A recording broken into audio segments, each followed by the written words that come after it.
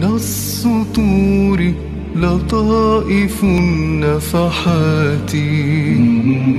تزكي النفوس بأعبق البركات. تحيا العقول إذا أنار طريقها.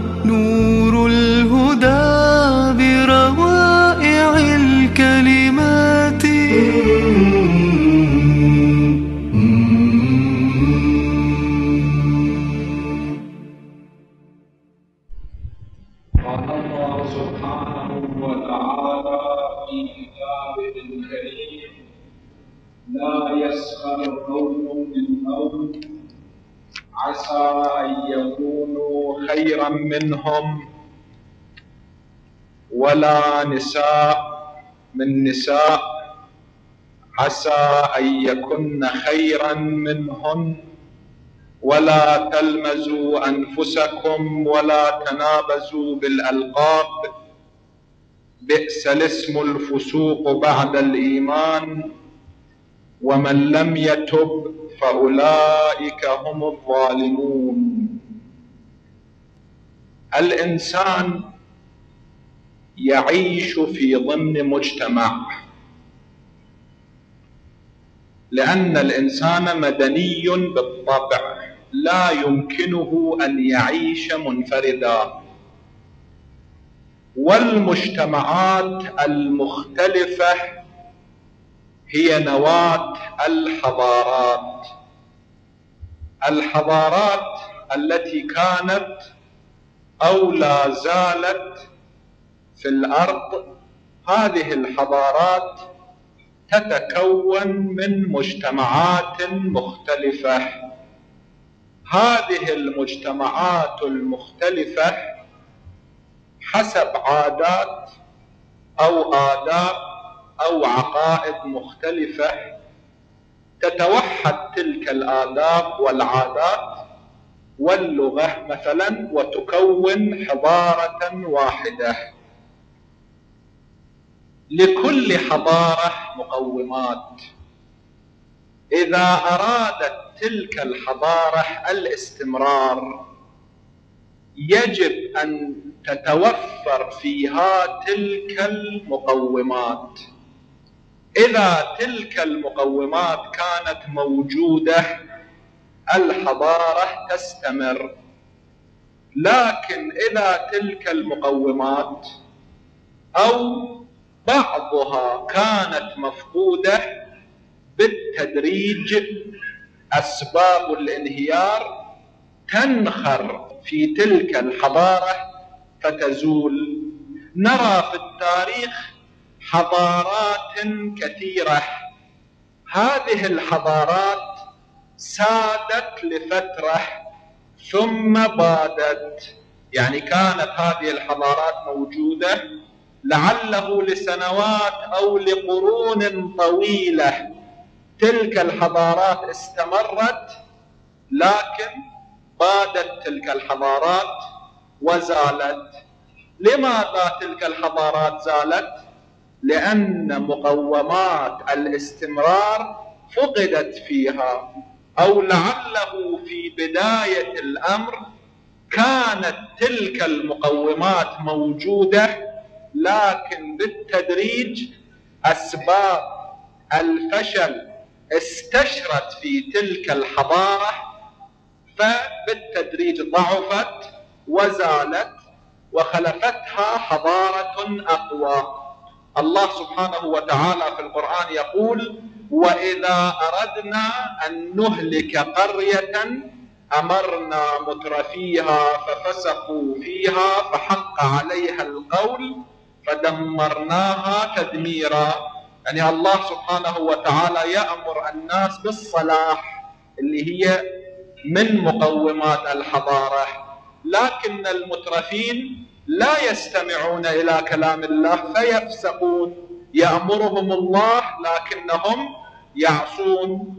أمرنا مترفيها بالصلاح لكنهم لم يستمعوا ففسقوا فيها فدمرناها تدميرا. من أهم مقومات استمرار الحضارة واستمرار المجتمع السليم هو طيب الكلام وعدم البذاء يعني من أسباب فشل أي مجتمع أو أي حضارة وزوال تلك الحضارة البذاء لماذا؟ لأن المجتمع إنما يستمر إذا كان هناك اتحاد أما إذا لم يكن هناك اتحاد وكان هناك تفرقة. التفرقة أهم سبب الزوال. التفرقة ولا تنازعوا فتفشلوا وتذهب ريحكم. التفرقة أول سبب للزوال. الكلام البذيء من أهم أسباب التفرقة. من أهم أسباب العداوة بين الناس. لهذا الله سبحانه وتعالى في القرآن يقول وقولوا للناس حسنا. إذا تكلمتم مع الناس تكلموا معهم بكلام حسن لا بكلام بذيء لأن الكلام البذيء يوجب التفرقة يوجب الاختلاف. إذا هذه التفرقة والاختلاف حدثت حتى إذا هذا الكلام البذيء كان ناشئا عن المزاح يوجب العداوة. إذا أوجب العداوة تحصل التفرقة. إذا حصلت التفرقة يسيطر الشرار فيدعو الخيار فلا يستجاب. لأنه الشرار إنما يسيطرون إذا كانت هناك بين الناس التفرقة. فضرر الكلام الذي يصيب الإنسان قبل أن يصيب غيره. لهذا هذه الآية الشريفة تقول يا أيها الذين آمنوا لا يسخر قوم من قوم. قوم يعني مجموعة من الرجال. ولا نساء من نساء. لا الرجال يستهزئ بعضهم بالبعض الآخر ولا النساء يستهزئ بعضهن بالبعض الآخر. كان هناك أحد أصحاب الرسول صلى الله عليه وآله وسلم وكان في أذنه وقر يعني إذا كان سمعه ثقيل لا يستمع إلى الكلام بسهولة. كان هذا دائما يأتي ويجلس عند المنبر ليستمع كلام رسول الله صلى الله عليه وآله وسلم. فهذا الشخص في يوم من الأيام تأخر والصلاة كانت منتهية والرسول كان على المنبر والصفوف مصطفة وكان يتكلم. فهذا جاء إلى المسجد وقال للناس تفسحوا. ففسحوا له المجال إلى أن وصل إلى أحدهم. قال تفسح. ذاك ما تفسح له. قال له أنت جئت متأخرا تجلس حيث انتهى بك المجلس. طبعا الإنسان يجب أن يحترم الكبار أو الذين بهم علة. يعني هذا الشخص لم يكن لغرض سيء يريد التقدم إلى الأمام. وإنما كان يريد, يريد استماع كلام رسول الله صلى الله عليه وآله وسلم. فالمفروض من هذا الصحابي كان يفسح له المجال ليستمع. غرض خير كان عنده لكن لم يسمح له. فهذا جلس خلف هذا الرجل. هذا ثابت الذي كان في أذنه وقر بعد أن انتهى كلام رسول الله صلى الله عليه وآله وسلم هذا ثابت أراد أن ينتقم من هذا الرجل لأنه لم يفسح له المجال. ماذا قال له؟ قال له إن أمك كذا وكذا كانت في الجاهلية. فهذا الرجل الصحابي تسبب العرق خجلا وحياء. فنزلت هذه الآية الشريفة لا يسخر قوم من قوم. عسى أن يكونوا أن يكونوا خيرا منهم. هذا إذا فرضا كان هناك إشكال في أمه أو فيه. مثلا بعدين تاب إلى الله سبحانه وتعالى وثم صار مؤمنا يجب أن لا تسخر منه حتى إذا ذلك العيب كان موجودا فيه. لماذا؟ عسى أن يكونوا أن يكونوا خيرا منهم. لأن كل إنسان ليس كاملا من كل الجهات إلا المعصومين عليهم الصلاة والسلام. ليس كاملا من كل الجهات. كل إنسان فيه عيب. من جهة من الجهات إما في خلقه إما في خلقه إما في أصله إما في حسبه إما في نسبه. على كل حال فيه عيب من العيوب لأن الإنسان خلق ضعيفا مو كامل من كل الجهات. بس إذا ذاك الشخص الآخر فيه عيب أيضا الإنسان فيه عيوب. لماذا يشتغل بعيب الآخرين؟ وينسى عيب نفسه. طوبى لمن شغله عيبه عن عيوب الناس. يشتغل بعيب نفسه قبل أن يشتغل بعيوب الآخرين. في حديث آخر لو تكاشفتم لما تدافنتم. يعني إذا كان كل الأمور منكشفة نعلم بأن هذا الشخص فعل كذا وكذا وكذا وكذا. نتنفر منه. أصلا ما نستعد أن ندفنه. لو تكاشفتم لما تدافنتم. الله سبحانه وتعالى ستار للعيوب. ينبغي علينا أن لا ننشغل بعيوب الناس وننشغل بعيوب أنفسنا. لو استهزأنا منا طبيعي أن هذا الأمر ينعكس علينا أيضا. أيضا الناس يستهزئون بنا. إذا نحن استهزأنا بالناس الناس أيضا يستهزئون بنا واحدة بواحدة. هذا يوجب العداوة. إذا أوجب العداوة يوجب التفرقة. إذا أوجب التفرقة الشرار يسيطرون وإذا سيطر الشرار الأمر معلوم المجتمع ينهار الحضارة تزول. يسيطر الشرق والغرب علينا كما حدث هذا الأمر حينما ابتعد المسلمون عن أحكام الله سبحانه وتعالى ومنها هذا الحكم. يا أيها الذين آمنوا لا يسخر قوم من قوم عسى أن يكونوا خيرا خيرا منهم ولا نساء من نساء عسى أن يكن خيرا منهن زوجة الرسول صلى الله عليه وآله وسلم صفية بنت حيي بن أخطب. هذه المرأة كانت يهودية بعد فتح خيبر أسلمت فتزوجها الرسول صلى الله عليه وآله وسلم. وزواج الرسول عادة كان يهدف منه نشر الإسلام. لهذا زوجات الرسول عادة كن من النساء العجائز. الرسول كان يتزوج المرأة لكي يتحول إلى صهر لقبيلة لجماعة. بعد ذلك هؤلاء يرون أن الرسول صهرهم يتقبلون الإسلام بسهولة باعتبار حالة العصبية التي كانت منتشرة بين القبائل في الجاهلية. لهذا إحدى زوجات الرسول بنت أبي سفيان تزوجها الرسول صلى الله عليه وآله وسلم ليكسب ود المشركين. وهكذا كثير من زوجات الرسول صلى الله عليه وآله وسلم. وهذا في كلام طويل ليس الآن مقام لذكره. فتزوجها الرسول أولا ليطيب خاطر هؤلاء اليهود حيث قتل منهم في غزوة خيبر مجموعة وبعد ذلك يستميلهم إلى الإسلام.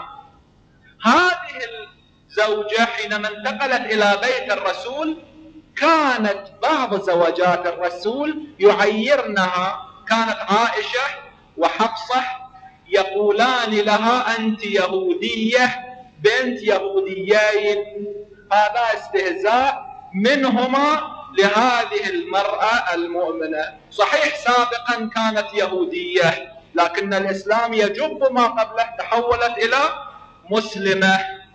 هذه ضجرت من هذا الاستهزاء فجاءت وشكت إلى رسول الله صلى الله عليه وآله وسلم شكت إليه هذه الحالة. الرسول قال لها إذا جاء مرة قادمة واستهزأ بك فأجيبيهما قولي ماذا تنكران مني؟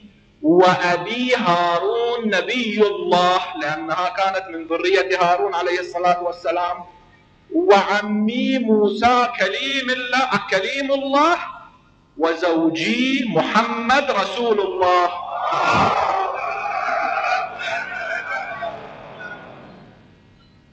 فعمها موسى وجدها هارون وزوجها الرسول فحينما قالت لهما هذا الكلام قال لها إن هذا ليس كلامك بل كلام رسول الله صلى الله عليه وآله وسلم. فنزلت هذه الآية أيضا.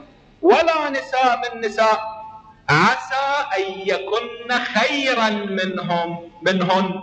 ولا تلمزوا أنفسكم اللمز معناه الرمي بالعيب. نرمي شخص بعيب موجود فيه. طبعا الفرق بين اللمز والهمز ويل لكل همزة لمزة. الهمز هو ذكر العيب باللسان واللمز هو رمي العيب بالإشارة. هذا أحد معاني الهمز واللمز. ولا تلمزوا أنفسكم. الله سبحانه وتعالى لم يعبر ولا تلمزوا الناس وإنما قال ولا تلمزوا أنفسكم لأن أول ضرر يترتب على اللمز هو على الإنسان. إذا لمزنا الناس الناس أيضا يلمزوننا. إذا استهزأنا بالناس الناس أيضا يستهزئون بنا. إذا ذكرنا عيوب الناس أيضا يذكرون عيوبنا. لهذا الله يعبر ولا تلمزوا أنفسكم لأن الضرر أول ما يترتب يترتب عليكم لا على الناس. ولا تلمزوا أنفسكم ولا تنابزوا بالألقاب. هذه مع الأسف حالة منتشرة. في الحديث الشريف يقول ادعوا الناس بأحسن ما يحبون. شوفوا يا لقب يا اسم هو يحب. أن يسمى بذلك الاسم أو اللقب؟ اذكره وادعوه بأحسن ما يحب. لا أن تذكر لقبا لا يرغب إليه ولا تنابزوا بالألقاب. وعبر عنه بالتنابز التنابز من باب التفاعل التفاعل بين اثنين. ضرب نقول ضرب فلان فلانا. من طرف واحد. أما إذا صار بين طرفين نقول تضارب فلان وفلان. يعني هذا ضرب ذاك وذاك ضرب هذا. ولا تنابزوا بالألقاب. طبيعي إذا ذكرت لقبا سيئا لشخص نفس ذلك الشخص أو أقرباء أو عائلته يذكرون لقبا سيئا لك. ولا تنابزوا بالألقاب. نشوف أن هذا الشخص أحسن ما يحب من الأسامي ندعوه بها. هذا يوجب المحبة. إذا أوجب المحبة الاتحاد يقوى واعتصموا بحبل الله جميعا ولا تفرقوا. أما إذا صار تنابز بالألقاب حتى إذا كان مزاحا كثير من الأحيان المزاح السيء يوجب العداوة. مع الأسف هذه الحالة منتشرة. التنابز بالألقاب يضعون لقبا على شخص يكره ذلك اللقب ولكن لأنهم يرونه يكره هذا اللقب بالمزاح ابتداء يذكرون يؤذونه مع أنه ارتكاب كم محرم هذا تنابز بالألقاب وهذا منهي عنه بهذه الآية. ولا تنابزوا بالألقاب موجب لإيذاء المؤمن وهذا محرم آخر. موجب للتفرقة. هذا محرم ثالث. أما الواحد هذا يتضمن مجموعة من المحرمات. بئس الاسم الفسوق بعد الإيمان. اسم الفسوق يعني الشيء الذي يوجب الفسق الاسم الذي يوجب الفسق. هذا رجل كان نصرانيا تحول إلى مسلم. لماذا نقول له هذا النصراني؟ هذا الرجل كان فاسقا. ثم تاب وتحول إلى مؤمن. لماذا؟ نذكره بما كان يفعله سابقا. تاب إلى الله سبحانه وتعالى. والتائب من الذنب كمن لا ذنب له. إذا تاب إلى الله سبحانه وتعالى وإذا كان فيه حقوق الناس أدى حقوق الناس هذا الشخص كمن لا ذنب له. لماذا؟ نذكر الفسق الذي ارتكبه. بئس الاسم الفسوق. بعد الإيمان ومن لم يتب فأولئك هم الظالمون. إذا واحد مات لا استمر في الاستهزاء استمر في اللمز والحمز والتنامز بالألقاب هذا هو الظالم يظلم نفسه ويظلم المجتمع لأن الظلم أول ما يصيب يصيب نفس الإنسان. فالآية تقول يا أيها الذين آمنوا لا يسخر قوم من قوم عسى أن يكونوا خيرا منهم. ولا نساء من نساء عسى أن يكن خيرا منهم. ولا تلمزوا أنفسكم ولا تنابزوا بالألقاب. بئس الاسم الفسوق. بعد الإيمان ومن لم يتب فأولئك هم الظالمون. من الأضرار المهمة للكلام البذيء قطع الرزق. يعني الإنسان الذي يستعمل الكلام البذيء الله سبحانه وتعالى يضيق عليه في رزقه. طبعا هذا أيضا سبب طبيعي إضافة إلى السبب الغيبي لأن الإنسان إذا معاملته مع الناس كانت قبيحة ومن جملة المعاملة القبيحة الكلام القبيح والبذيء الناس لا يذهبون يتعاملون معه فيصير ضيق في رزقه. إضافة إلى السبب الغيبي في الحديث الشريف من فحش على أخيه المسلم يعني ذكر كلاما بذيئا على هذا الأخ المسلم سواء كان صحيح أو لم يكن صحيحا يعني سواء كان تهمة أو كان غيبة نزل الله منه بركة رزقه. بركة الرزق تسلب منه. ووكله إلى نفسه وأفسد عليه معيشته. الله لا يسدد هذا الإنسان. يكل هذا الإنسان إلى نفسه وأفسد عليه معيشته. ترى أنه يشتغل ويكل لكن رزقه ضيق. لا يحصل من الرزق بسبب نفسه بسبب كلامه بسبب أنه فحش على أخيه المؤمن واستعمل كلاما بذيئا ضد ذلك الإنسان المسلم في حين أن عكس هذا الأمر إذا الإنسان أطاب الكلام الكلام الطيب يوجب المحبة الناس يحبون هذا الإنسان وإذا الناس أحبوه النتيجة تكون أنه في معاملاتهم معه تكون أكثر إذا المعاملة صارت أكثر الرزق أيضا يكون أكثر مضافة إلى نفوذ كلمته مضافة مضافا إلى حفظ حرمته. يعني الإنسان إذا احترم الناس الناس أيضا يحترمونه. لكنه إذا لم يحترم الناس الناس لا يحترمونه. فالإنسان إذا رأى أخاه المؤمن يذكره بأحب الأسماء إليه. الإمام أمير المؤمنين عليه الصلاة والسلام كان بنو أمية وأعداؤه يسمونه أو يكنونه بأبي تراب. كانوا يتصورون أن هذا لقب سيء. أبو تراب هذا لقب سيء. فلهذا كانوا دائما حينما كانوا يذكرونه كانوا يقولون قال أبو تراب وعن أبي تراب وكذا وكذا حينما كانوا يريدون أن يذمون أمير المؤمنين. كانوا يتصورون أن هذا من الألقاب السيئة مع أنه لو فرض أنه من الألقاب السيئة خلاف قوله تعالى ولا تنابزوا بالألقاب. مع أن هذه الكنية كانت أحب الكنى لأمير المؤمنين عليه الصلاة والسلام. كان يحب هذه الكنية أكثر من حبه لكنية أبي الحسن أو أبي الحسنين. أكثر من هذا كان يحب هذه الكنية لأن هذه الكنية كناه به رسول الله صلى الله عليه وآله وسلم حينما رآه متمددا أو نائما على التراب. فكناه بأبي تراب يحب هذا هذه الكنية. فنحن أيضا إذا أردنا أن نذكره نذكره بهذه الكنية أو سائر الكنى التي يحبها أيضا. لا كالناس غير المتورعين الذين يكني بعضهم بعضا أو يلقب بعضهم بعضا بأسوأ الألقاب.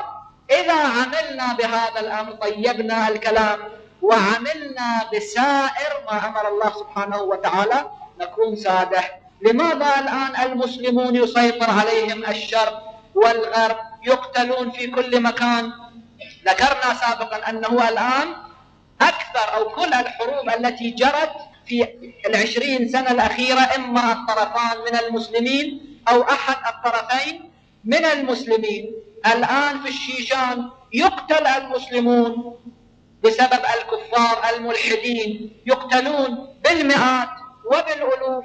وقبل ذلك في كوزو وقبل ذلك في أذربيجان وقبل ذلك في الحرب الإيرانية العراقية وقبل ذلك في أفغانستان وفي باكستان وكذا. إذا تلاحظون ترون أن كل الحروب التي جرت في العشرين سنة الأخيرة أو أكثر تلك الحروب إما طرفان من المسلمين أو طرف واحد من المسلمين. والطرف اللي من المسلم من المسلمين يقتل منهم وتسبى نساؤهم ويشردون من ديارهم. لماذا؟ لأنه بشكل عام المسلمون تركوا أحكام الله سبحانه وتعالى. يمكن وفي كثير من الأحيان هذا المقتول أو هذا المسجون كان إنسانا مؤمنا متدينا صائما مصليا يحب الله والله سبحانه وتعالى يحبه. لكن إذا البلاء نزل ينزل على الكل. واتقوا فتنة لا تصيبن الذين ظلموا منكم خاصة. تركنا الصلاة تركنا الصوم أو إذا كنا نصلي أو نصوم نظن أن الإسلام وأن الدين فقط هو الصلاة والصوم والحج مثلا وإعطاء الزكاة والخمس خلاص هذا هو الإسلام. مع أن هذا جزء من الإسلام ولا يمكن أن يكون أن يقوم بناء إلا إذا كانت جميع الأعمدة موجودة. يعني إذا فرضتم هذا المكان فيه مجموعة من الأعمدة. إذا نصف هذه الأعمدة أزلناها ورفعناها. البناء ينهار. صحيح أن بعض الأعمدة موجودة لكن إذا أردنا أن يكون البناء قائما يجب أن تكون جميع الأعمدة موجودة. نحن فعلنا بعض الأفعال من ظواهر الإسلام وتركنا كثير من الأمور الأخرى. آيات الصلاة والصيام والحج أقل من عشر القرآن بل أقل من واحد من عشرين جزء من القرآن. أين بقية الآيات؟ أين العمل ببقية الآيات؟ منها هذه الآية تركنا الآيات القرآنية. بعد ذلك نقول لماذا الدعاء لا يستجاب؟ أليس الإسلام هو خير الأديان؟ أليس قانون الإسلام خير القوانين؟ فلماذا الشرق والغرب مع أن قوانينهم قوانين سيئة سيطروا علينا؟ لأن مقومات الحضارة الإسلامية تركناها فحضارتنا انهارت. فسيطر علينا الشرق والغرب إذا أردنا الرجوع إلى العز الله سبحانه وتعالى يقول إن تنصروا الله ينصركم. إذا فعلنا الأفعال التي أمرنا الله سبحانه وتعالى بها. إذا كانت معاملتنا الاجتماعية معاملة يحبها الله سبحانه وتعالى إحنا عندنا في الكتب الروائية باب باسم باب العشرة. يعني المعاشرة مع الناس حقوق الأبوين حقوق الإخوة والأخوات حقوق الأبناء حقوق المجتمع. هذه الروايات التي هي مأخوذة من الآيات أيضا.